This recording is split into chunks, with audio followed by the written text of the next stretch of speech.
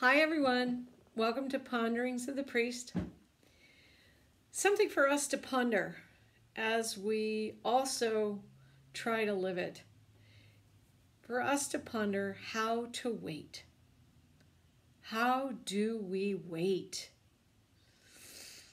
Ah, in a nanosecond instant gratification, do it yesterday I can't stand how I'm feeling. I can't stand this not knowing. I can't, I don't know how to sit still.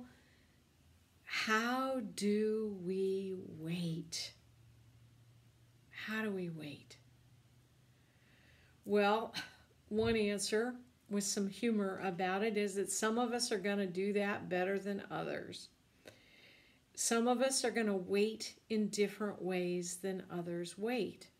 I know people who are capable of waiting by simply sitting and reading or watching a show or going for a walk or playing with the kids or something.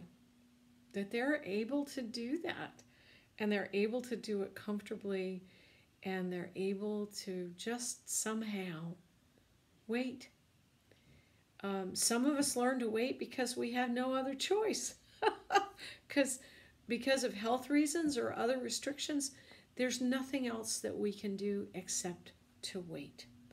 Um, and then there are others who find ways to wait by, interestingly, being active, by going for bike rides, by going hiking, by uh, going for a motorcycle ride, by playing golf, by doing something that still maintains safety protocols so that no one else is put at risk because remember it's not about me it's about you.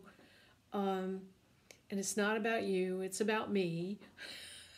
And vice versa. Is that that's how they found a way to wait. So how do we wait? First we need to know ourselves. And we need to know the methodology by which we can find some kind of breathing space, point of relaxation, something, and to use that and to do that. Um, some of it is just working through uncomfortable feelings and realizing that we can get through them even when we're uncomfortable.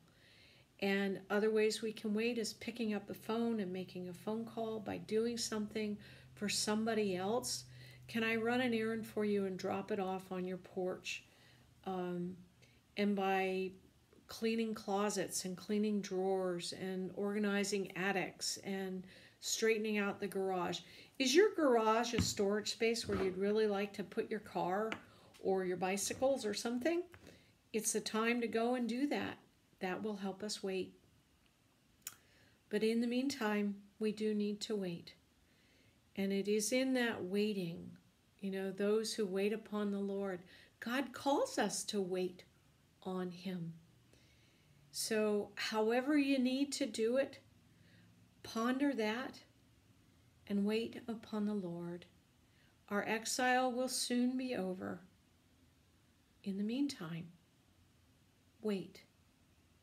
Have a nice day, everybody.